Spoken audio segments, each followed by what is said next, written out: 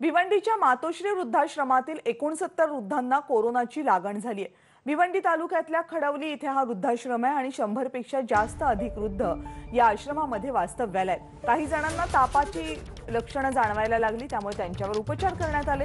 पण एका वृद्धाचा ताप कमीच झाला नाही त्यामुळे त्यांची कोरोनाची चाचणी करण्यात आली.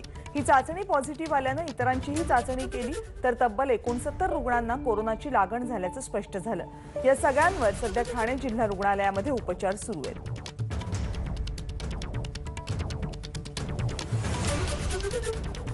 कल्याणमधला वृद्धाश्रम आहे जिथे शंभरपेक्षा जास्त ज्येष्ठ नागरिक राहतात. यापैकी एकोणसत्तर जणांना कोरोनाची लागण झालेली आहे. खरं तर आधी लक्षातच आलं नव्हतं. एका रुग्णाला ताप आला होता. त्याच्यासोबत अनेक रुग्णसुद्धा तापाची लक्षणं त्यांच्यामध्ये जाणवत होती. मात्र एकाचा ताप उतरत नसल्यामुळं त्याची चाचणी केली असता त्यांची चाचणी पॉझिटिव्ह आली आणि त्यानंतर इतर सगळ्यांचीच चाचणी केली त्यावेळेस एकोणसत्तर वृद्ध व्यक्ती या पॉझिटिव्ह असल्याचं लक्षात आलंय. आता या सगळ्यांवर ठाण्यामधल्या जिल्हा सामान्य रुग्णालयामध्ये उपचार सुरू आहेत.